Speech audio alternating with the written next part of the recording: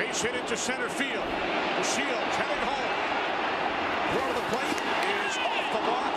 Rangers lead 2 0.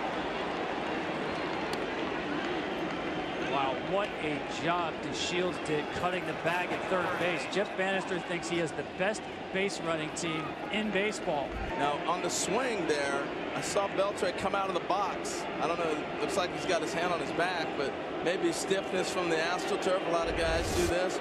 Watch the swing and the finish. He's already he's already hurting as he grimaces to go down the base. That is not a pretty sign right there. I know he's tough, but man, that doesn't look good.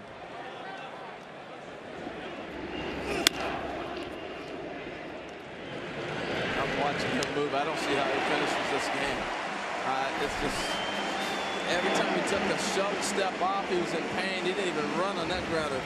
Let's keep you posted on Mr. Beltre. You know, it was clearly on this swing right here. He feels it right away. That looks like a muscle spasm, a cramp, or whatever. I don't know. I'm not the doctor here, but he's clearly in some serious pain. But then as he fights to stay in the game, all his teammates had to come over and say, hey, look, big fella, we're up 2-0. We're going to need you in this whole series. And he had tears coming out of his eyes fighting to stay in this game. But he had to go. You're absolutely right, Tom. Mentioned we saw both third basemen leave the game. First, Adrian Beltre. He suffered lower back stiffness after this slide. Landed funny. Tough break for the Rangers. Beltre leaves the game, replaced by Hanser Alberto. Alberto now at third for Texas.